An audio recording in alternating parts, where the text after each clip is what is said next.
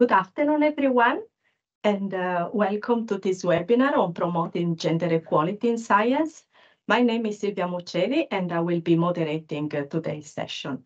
So this webinar is uh, organized within the HybridNeuro project that is funded by the European Union and UK Research and Innovation.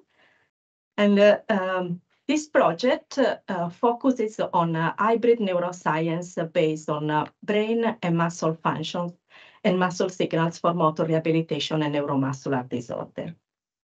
The project includes a number of activities, um, among which an exploratory project on the topic I just mentioned, but also a lot of training activities to improve soft skills of our students and collaborators.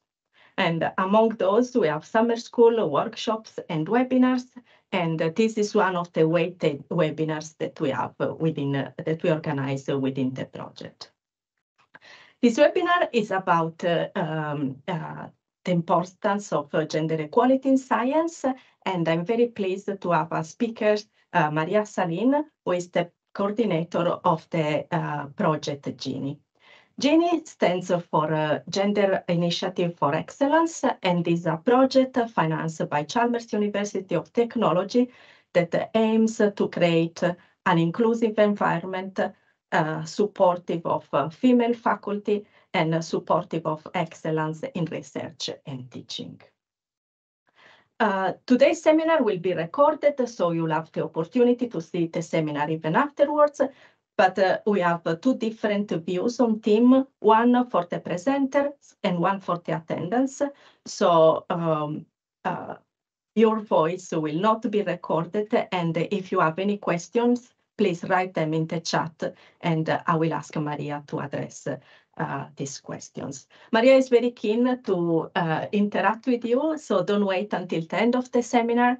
Uh, of course, you have the possibility to ask question at the end, but also during the seminar, if there is anything you want to ask about, don't be shy. Maria will be happy to reply. So I hope you all enjoyed the seminar, and I will now leave the floor to Maria. Thanks all of you for joining. joining. Super. Thank you, Sylvia, and thanks for having me. This is very nice. Um, strange to talk to a screen, but I know you're out there. So please, yeah, as Sylvia said, write something in the chat if you have questions, if you don't understand or it doesn't make sense what I'm saying, or something comes up in your mind, some good idea. Um, promoting gender equality in science. So, Sylvia said I work in a project called GENIE uh, at Chalmers, and uh, I will be presenting that more Eh, in the fall here at Chalmers. So today I'll talk more about the broader sense of gender equality in science. Eh, why is it important? Why care? Eh, so I'm I'm a biochemist and a biophysicist, and I've done a lot of research in drug discovery. So I know what sort of science is about, but I think it's really important with the human beings behind, and that's why I that's why I started working with gender equality. I think gender equality is, it's almost a human problem, or a human task. We need it in all parts of of society. Uh, and I think being in academia, I like being here because we work to solve the challenges of society, and we need all the brains and all the people to do their best to to make it work. We have a lot of challenges in society and in on our planet and beyond, and if we sort of limit the people who's gonna solve those problems to a few people, we're probably not gonna solve it as much as we could. So I I just wanna make sure that everyone can can help out and do their best. That's why I work with gender equality. I will give you some data on how status is today, why we need to improve, eh, and some some tips in the end, what you can do, where you can find more resources, eh, both for teaching, research, and, and generally. Eh, I think I'll start with some historic and geographic data, and then we'll come to the sort of the more actions. Eh, so if we look in the world, it's a big world out there.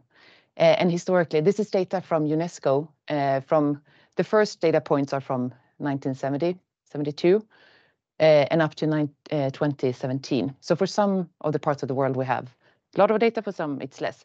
But I think it's just interesting to see that we have a slight increase in all parts of the world, uh, but also quite different uh, backgrounds. Historically and culturally, we have very different places, and this affects, of course, how uh, we work in academia and how people are welcome.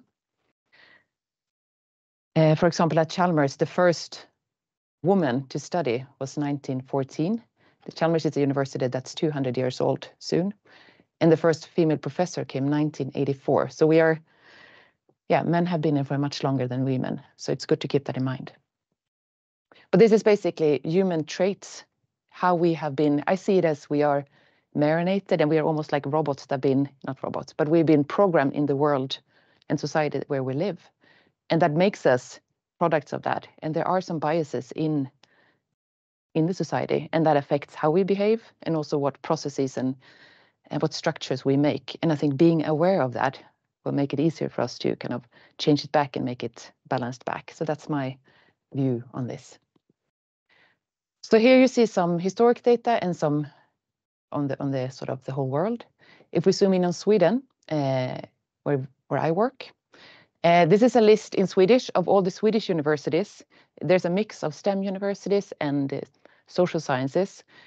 But what's the point is that in the bottom... Eh, in the bottom is Chalmers Technical University. We have 20... This is data from 2021, and we have 18% female professors. Eh, it's not what we want to have, and that's why the GENIE Initiative started, amongst other things. But it's important to see that there's a difference, eh, and even if Sweden looks like we have a lot of female rights in society and a lot of female at the university from the previous slide, when it comes to the top positions, we don't have that many. And if we zoom in even more to Chalmers, our university, these are the different, the PhD students, the different positions in academia, postdocs, assistant professors, associate professors, professor, and full professor. This is along the time that the GENIE Initiative has gone on.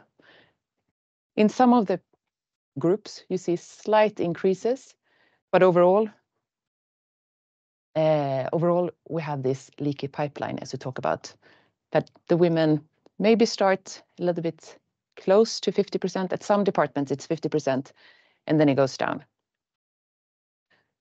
Why is this?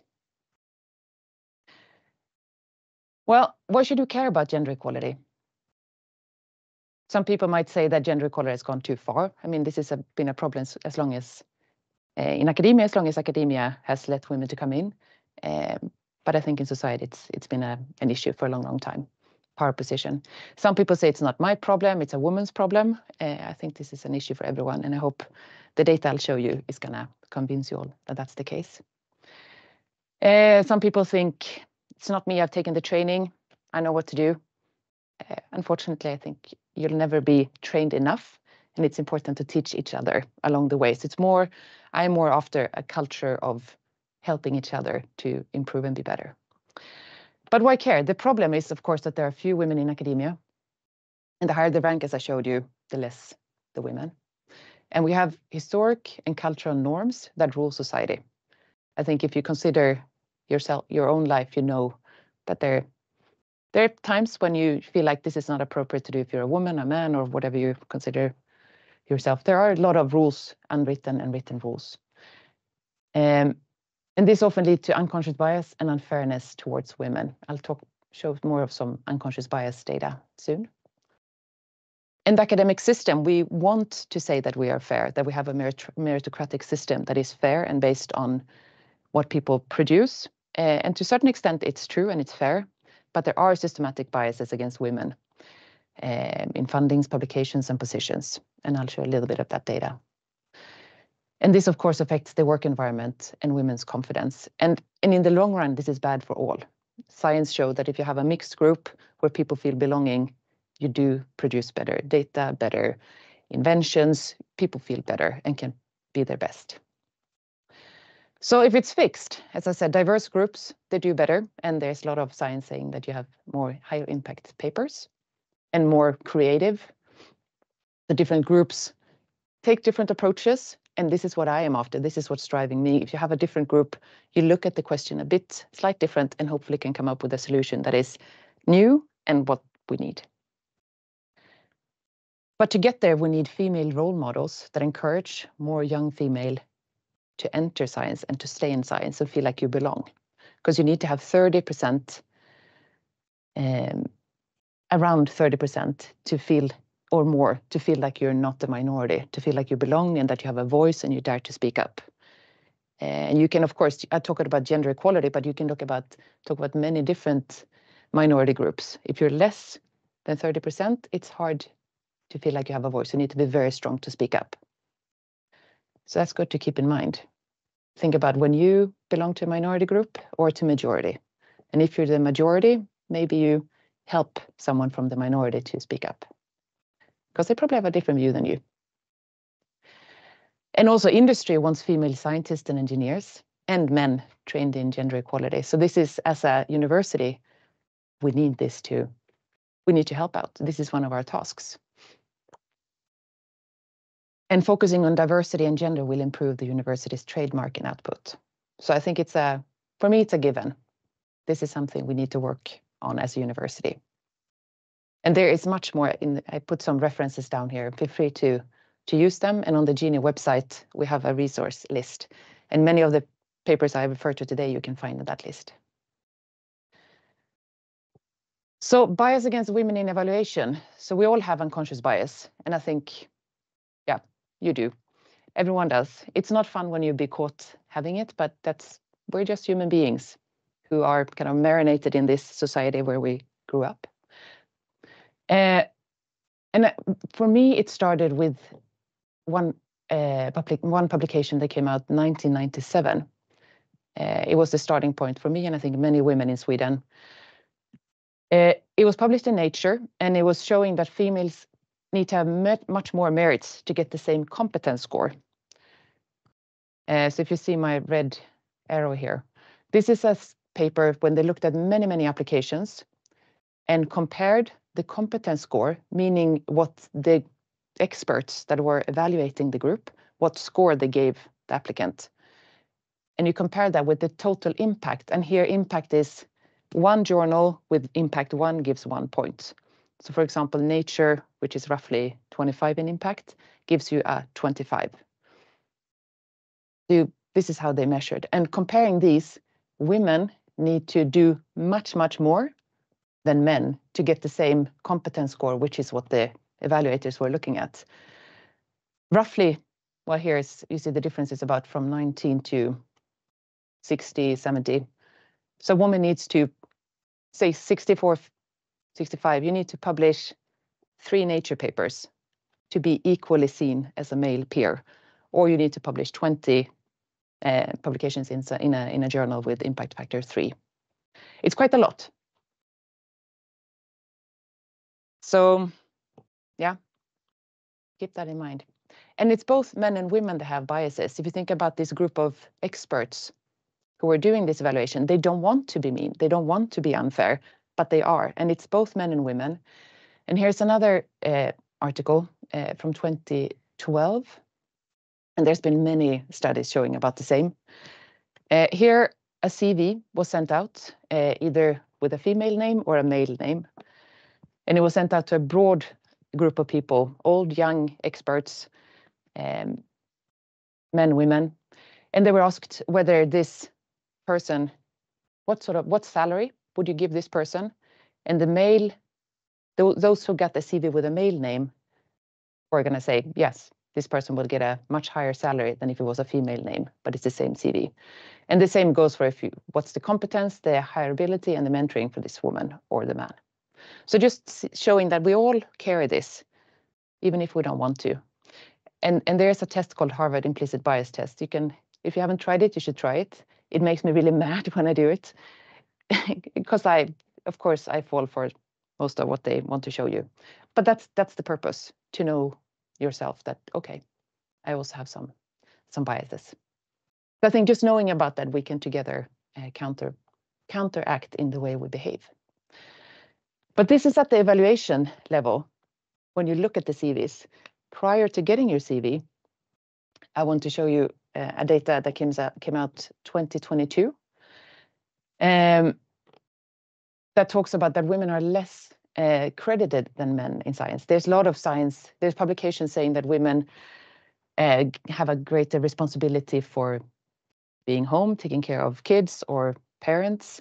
And they might have a different type of super supervision. Um, maybe they uh, work in a less welcoming environment. Many things happen. But this is one where you look at uh, what is the credit you get? It's not a simple task, but what they did is they, over four years, followed almost 10,000 teams that had 129,000 individuals, uh, which published a bunch of articles and did patents. And they were kind of comparing what authorship did you get compared to your actually how much time you put into the work. So they were at the place doing the work. And they did this through looking at the data, but also have interviews and surveys so several points. And divided by sort of your role, if you would have gotten a fair uh, share of the authorship, you would expect that the points would sort of fall on the on the line in the middle. Uh, but what you see here is that women's share of potential authorship is less than the actual authorship. So all groups, faculty, postdocs, graduate, undergraduates, and even research staff I mean, the research staff is even further away from being fairly treated. And all, all sort of subjects of science show the same pattern. Engineering that you belong to is also quite far down. So there's something we do uh, in not really giving value the work that women do. And I think you all have heard about Rosalind Franklin, who was uh, working with the DNA structure with Watson and Crick.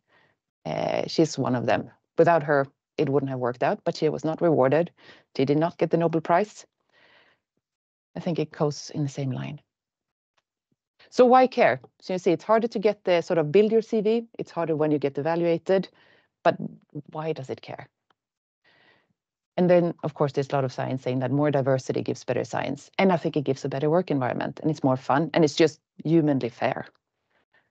Um, but if you look into some papers. Here is one from Nature, uh, where they looked into uh, two and a half million papers um, when they looked at the ethnicity of the authors and saw that if four out of five, four or five of the authors came from different parts of the world, and this is based on, on sort of your name, uh, they had more citations. So mixed groups in that sense gave higher, uh, higher impact. Another reference, which I think is really nice, uh, shows that if you have a better work-life balance, not that you work more, but you have a good work-life balance and a sort of an attitude to, to life and while you do the research, you publish in higher quality papers. Good to strive for. And the last paper, which I really like, uh, came out in 2022.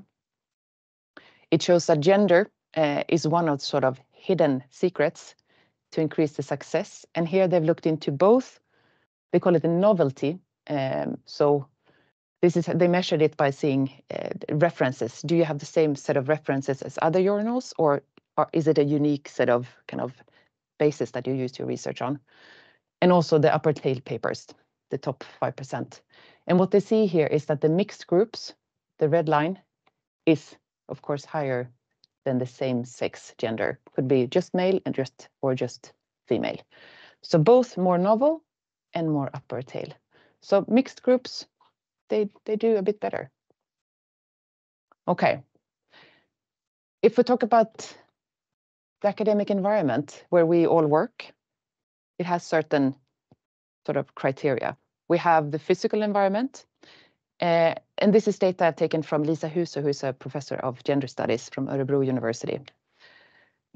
You have the physical environment that makes up our work environment. We have the school classrooms, we have the buildings, we have the coffee places, the food, the sort of the physical places where we are.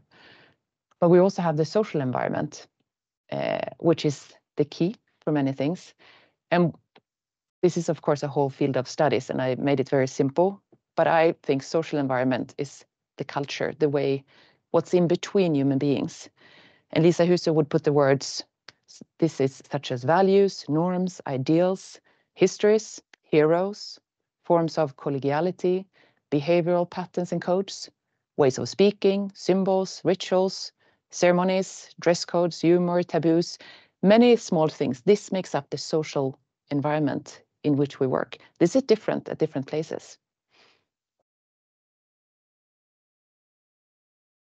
If we think about the academic culture, which is what I talked about recently, and gender, there are a couple of concepts that make it, uh, I would say, limitation. And if you think of these, uh, you probably can find a story of your own or something where this makes it makes sense for you. But academic culture is hierarchical, sometimes informal, competition and collaboration. We have this implicit or unconscious bias in evaluation, as I showed you, uh, an assessment, which was this Jane James with the CV, two different uh, people. This is part of the academic culture and the gender aspect. There is a stereotype of research academic engineer that it's male. Uh, if you talk to generalizing, of course, but if you talk to people on the street or go to schools and ask them to draw a researcher, academic person, or an engineer, most often you will get uh, a white male, maybe in a lab coat. So we have a stereotype, and this spills over. So you would call that uh, academia is a gendered organization and it's male dominated. Women are more sort of the opposite to men. Um, men are rarely problematized as men. Uh, as I said, we, we, they are the norm, and what's not men, that's what you talk about. You often talk about something called homosociability. Uh, men prefer men and validate men, and the same goes for women. That you, where you can see yourself, it's much easier. You have something that is similar, it's easy. But once you have a norm, that norm tends to stay. This is a human trait. So knowing of this makes it easier to break it and we are all part of it. So men are often the stereotype, and then women, we say the visibility paradox of women. They're seen as women, uh, but maybe less seen as colleagues. There's there's a tendency that you, the sex, as Liisa Husu puts it, she says the sex role spills over, becomes an academic motherhood. That the women are seen as the ones who should take care of PhD students who need help, or the visitor that come, or the maybe even making the coffee if you draw it to the extreme. There's some subconscious uh, view that maybe the women are uh, more mothers. Uh, and then we have this informal division of labor. And compared to what I just said right now, um, there's a risk of something called academic household work, that this tends to be the women who take care of everything that is not meritocratically, you don't get credits in your CV. Um, there are some some men that do it for of course this I'm, I'm very generalizing what I say now. Um, but that this the the gender roles make women more feel like I have to do this than men. And then unfortunately sexual harassment of students and staff it, it occurs and uh, more often women are the victims. So taking this um, about gender discrimination which is not so fun, but we need to know that it exists. Uh, there's a nice quote from Paula Caplan, who's been writing a book called Lifting a Ton of Feathers. So imagine lifting a ton of feathers, where she says, typically, when one forms one form of prejudice, such as sexism or racism, is labeled as unacceptable, something we should not do, it does not simply vanish. Rather, it tends to take increasingly subtler forms, thus protecting the prejudiced person from both social and legal accusations. So it kind of becomes invisible, but it's still there. This has been, um, and, and this has become, this is more of a process than single incidents. It's more something that happens over and over again. So imagine her, her image lifting a ton of feathers. So each time something happens that is not, not perfectly nice, it's a feather but after a while that becomes heavier. And this concept had also been uh, talked about by Virginia Valian and Liisa Husu. Liisa Husu calls it non-events. Uh, Virginia Valian calls it molehills become mountains. So small, small, small things adds up. And these are own witnessed cognitive experiences, so we can't... It's for the person who is who is there. And one can also explain it a little bit more Eh, as accumulation of disadvantages, small, repeated and micro events, microaggressions, that often are combined with a power position. And what this could be um, could be silences, exclusions, bypassing, ignoring, making invisible, lack of support, lack of validation, not being seen, heard, encouraged, taken into account, validated, supported, asked along. And these, we have done some research in in GENIE um, project as well, and this you can find at Chalmers. I think it exists everywhere.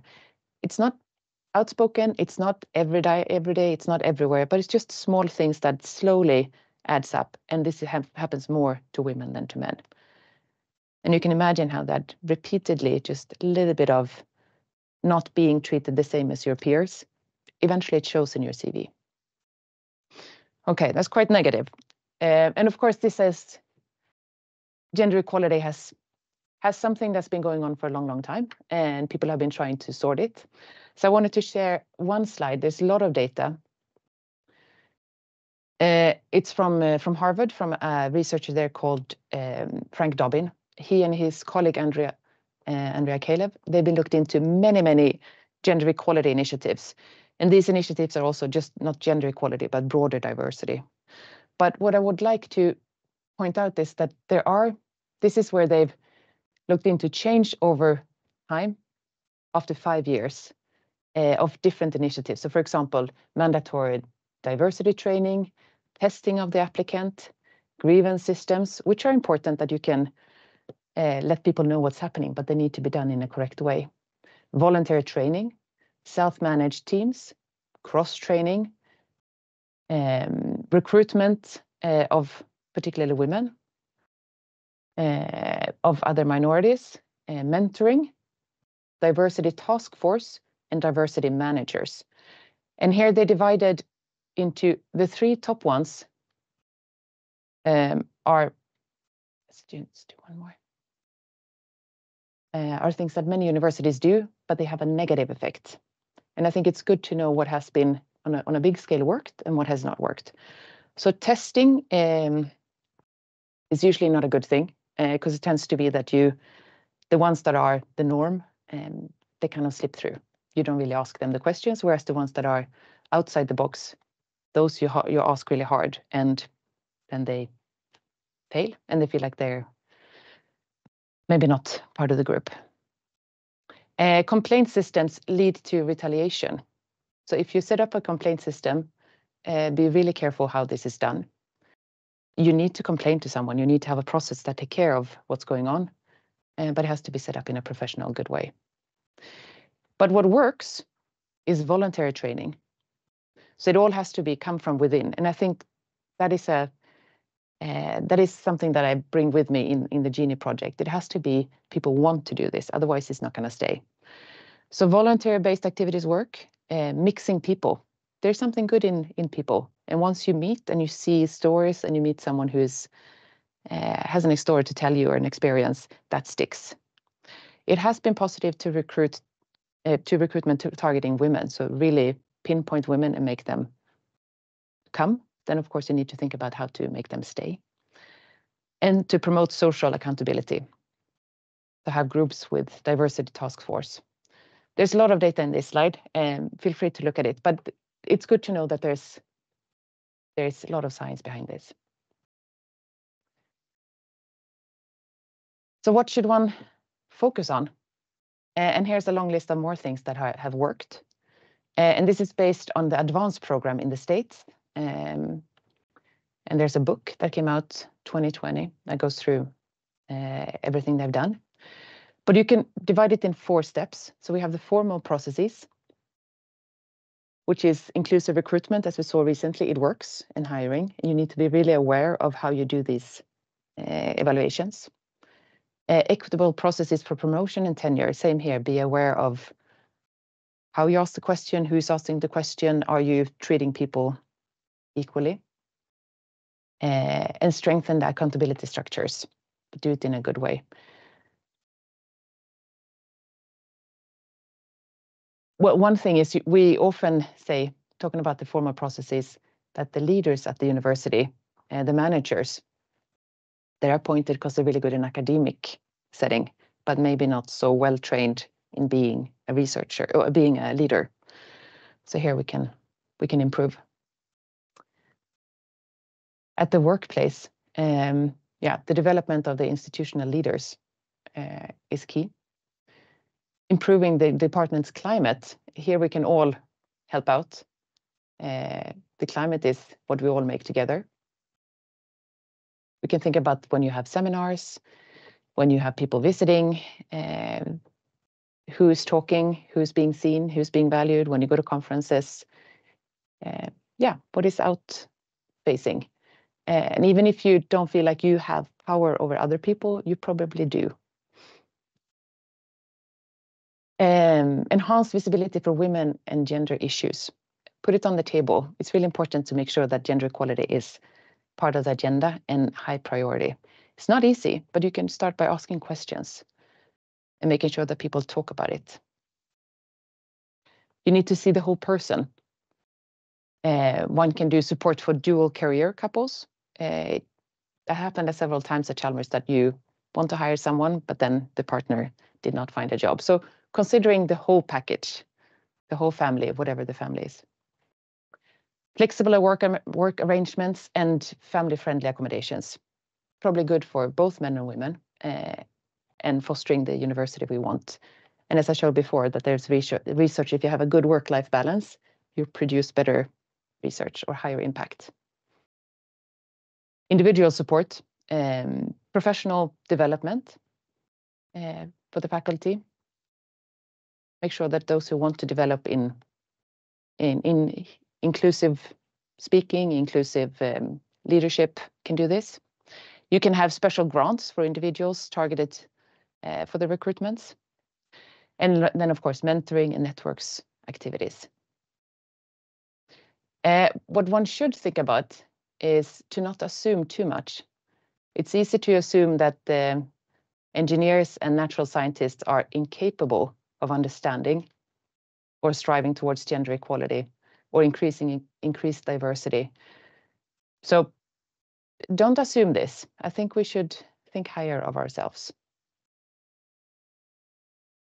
Mm.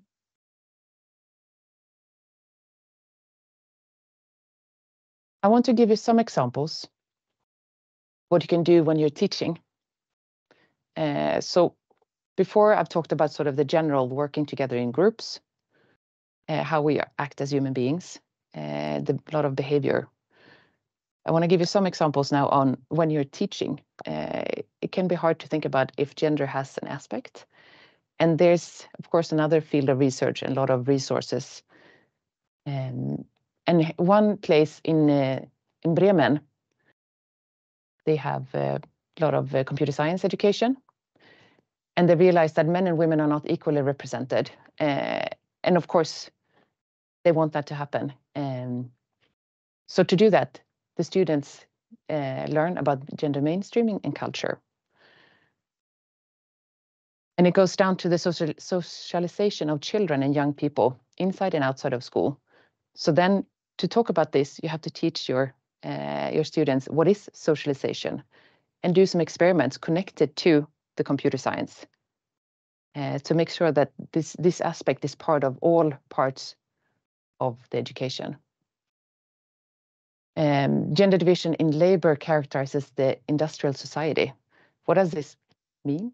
uh, thinking about the society you're going to end up in once you have completed your degree.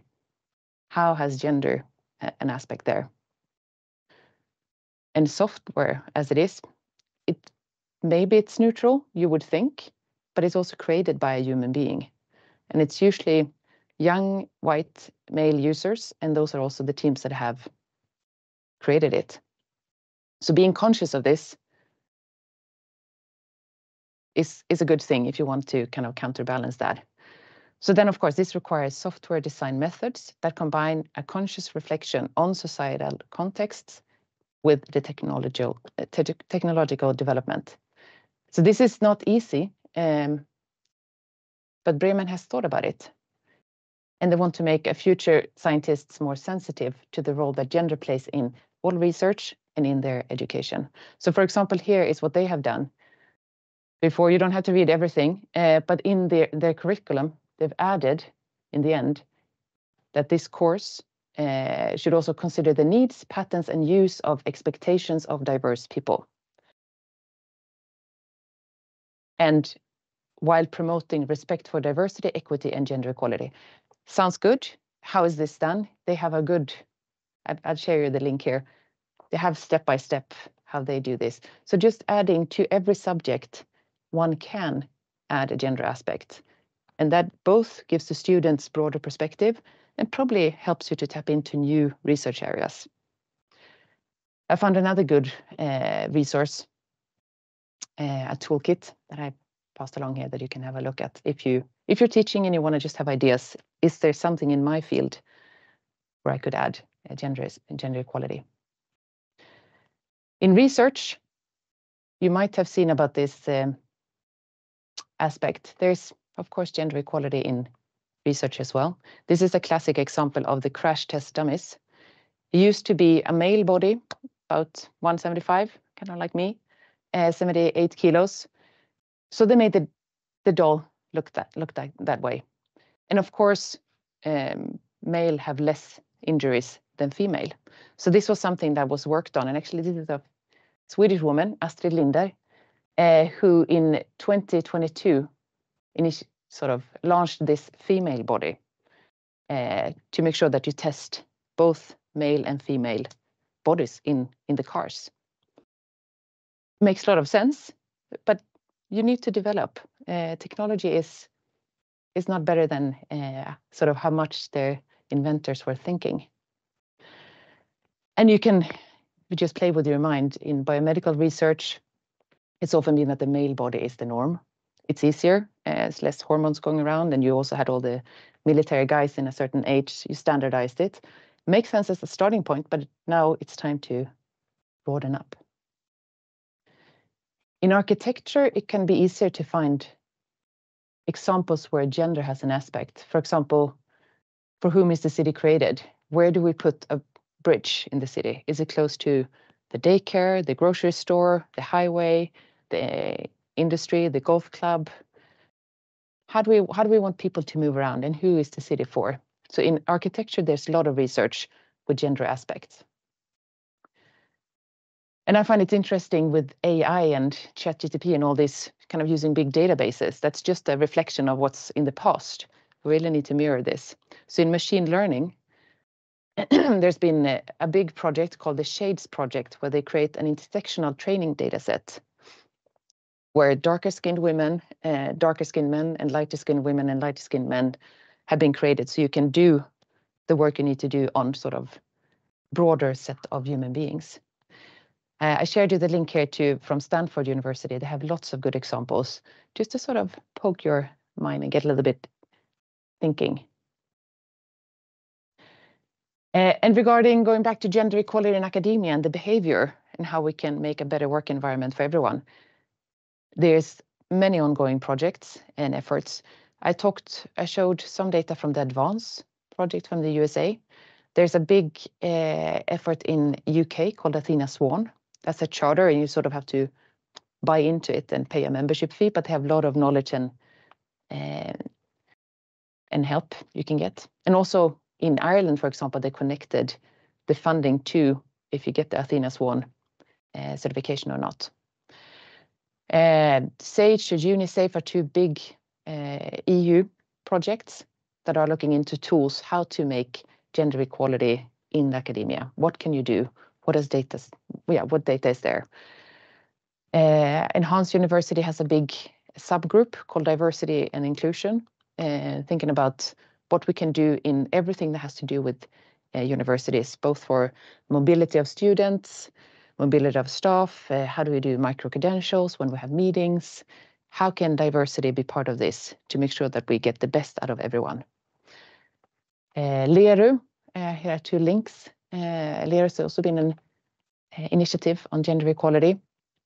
Genport, eh, there's a long list of things that's ongoing. So resources is out there.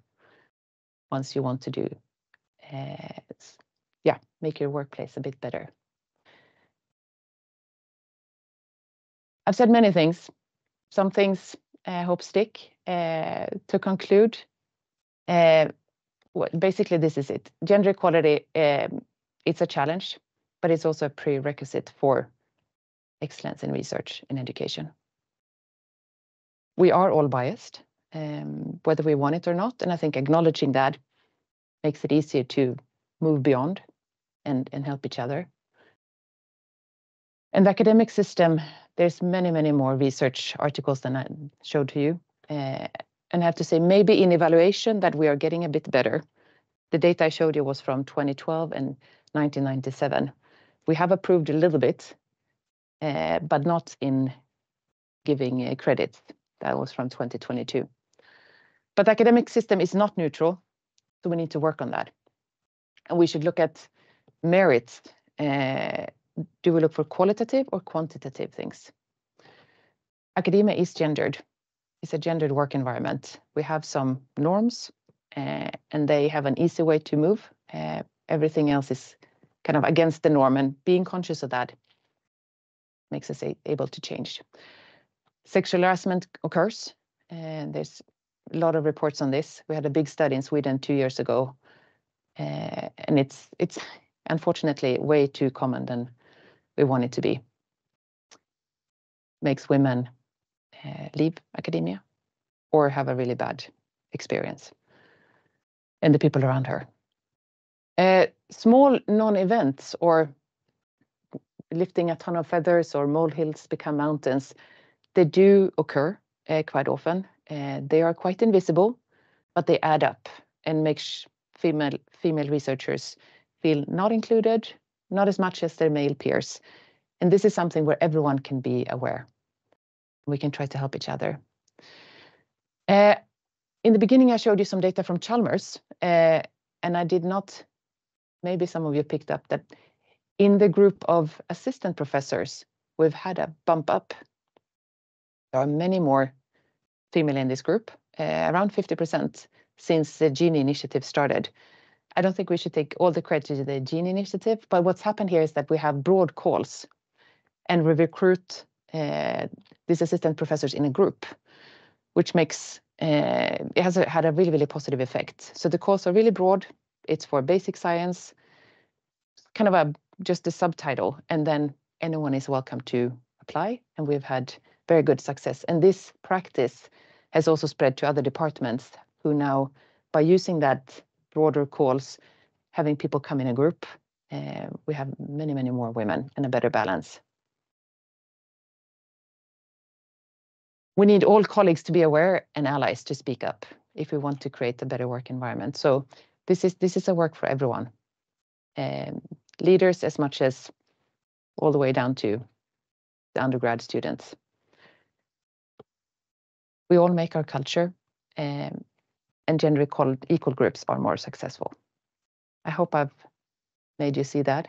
There's lots and lots of data and much, many, so many things to say and show, but I hope I've given you a little bit of bits and pieces, and I'm very happy to take questions or thoughts or ideas, and then I'll meet you maybe in in the fall. Thank you. Thank you very much, Maria, for your uh, excellent talk.